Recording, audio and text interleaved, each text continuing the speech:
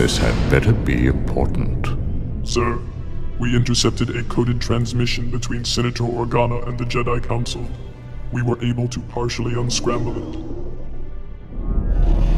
The Jedi have sent Senator Organa to Toydaria to negotiate a treaty which would allow them to send relief supplies to their forces on Ryloth.